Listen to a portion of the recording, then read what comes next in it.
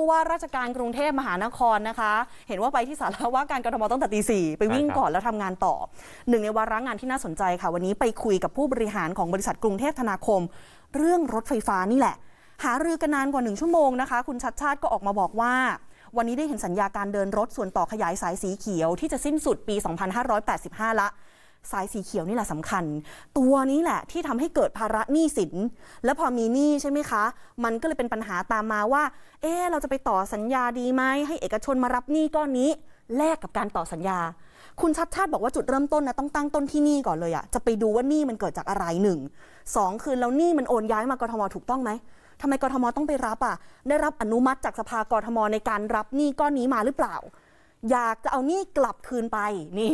อยากจะเอากลับคืนไปให้กระทรวงคมนาคม แล้วก็บอกด้วยนะคะว่า ต่อให้ต้องรับมาก็ตามนะ ไม่อยากจะเอาหนี้ก้อนนี้มาเป็นตัวเร่งรัดการตัดสินใจระยะยาว คือสมมติสุดท้ายกทมต้องรับหนี้ก้อนนี้มาแล้วต้องจ่าย เอาจริง ๆ ถ้ากทมกู้มาจ่ายหนี้ดอกเบี้ยถูกกว่าเอกชนกู้นะ เราให้เอกชนเขารับหนี้ไปแล้วให้เขาไปกู้สุดท้าย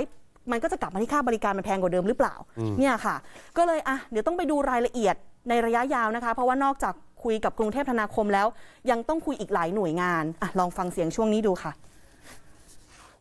เพราะว่าคงต้องดูทางออกให้รอบคอบอะครับนะก็อย่างที่เรียนวันนี้เพิ่งวันแรกนะ ขอเก็บข้อมูลให้ครบถ้วน แล้วก็ไปอย่างระมัดระวังอะเพราะว่ามันก็เป็นเงินจำนวนมาก แล้วก็นั้นผมว่าอย่าอย่าอย่าเพิ่งไปเอาผูกผูกพันในระยะยาวมาก เพื่อมาแก้ปัญหานี้ในระยะสั้นตรงเนี้ย มันต้องดูให้มันสมดุลกันคงอาจจะต้องคุยอาจจะต้องคุยกับท่านรัฐมนตรีมหาดไทยก่อน เพราะว่าจริงแล้วมันก็เป็นเราก็เป็นเราต้องรายงานท่านอยู่แล้วไงท่านพอเราได้ข้อมูลปุ๊บอาจจะต้องคุยกับท่านก่อนว่าท่านมองยังไงอะไรเงี้ยครับมันก็คงเป็นขั้นตอนไปเราคงไม่ถึงครมเพราะว่าเราต้องรายงานกับมหาดไทยเป็นหลักคงต้องเจอท่านแล้วก็ในเร็ววันนี้แหละมันคงต้องรีบสรุปข้อมูลแล้วคุยเบื้องต้นก่อนว่าเรามองยังไงเพราะเรื่องนี้ก็รีบครับถ้าไม่รีบวันนี้คงไม่ไม่ไม่เชิญมาเจอเลยครับ ก็เป็นเรื่องที่ทุกคนกังวลนะ ยังให้สัมภาษณ์ถึงมาตรการเรื่องโควิดนะคะ ที่ตอนนี้ภูเก็ตเนี่ยเขาเริ่มผ่อนคลายแล้วนะครับให้ถอดหน้ากากอนามัยในที่โล่งได้คุณชัชชาติบอกว่าเออก็มองเหมือนกันนะ บริบทของกรุงเทพและภูเก็ตไม่ต่างกัน ก็เดี๋ยวจะตัดสินใจให้เร็วที่สุดถึงเวลาแล้วที่กรุงเทพต้องเดินหน้าต่อ